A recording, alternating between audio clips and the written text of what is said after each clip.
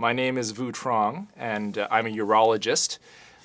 I did my training at the Vancouver General Hospital, uh, my surgical urology training, and I spent an extra year in Edmonton, Alberta at the Royal Alexandra Hospital uh, learning laparoscopic uh, urologic surgery for prostate cancer.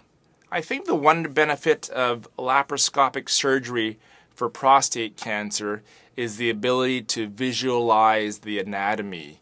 Uh, with a laparoscope in the abdomen and in the pelvis, you're able to see the anatomy in 10 to 12 times magnification, which allows a surgeon to manipulate tissue that much better. I spent my time at Vancouver General Hospital as a trainee doing open prostatectomy, which is a very good operation in uh, many surgeons' hands. But when I spent the year in Edmonton learning laparoscopic prostatectomy, I saw the prostate like I'd never seen before.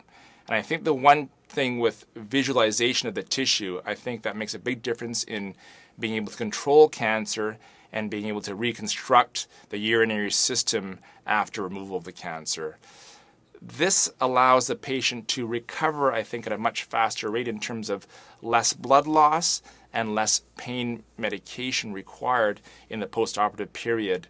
I also think this allows the patient to get back to their normal activities at a much faster rate. Um, the current scientific evidence shows that laparoscopic versus open prostatectomy is pretty much equivalent in terms of cancer control, in terms of urinary continence, and in terms of sexual function.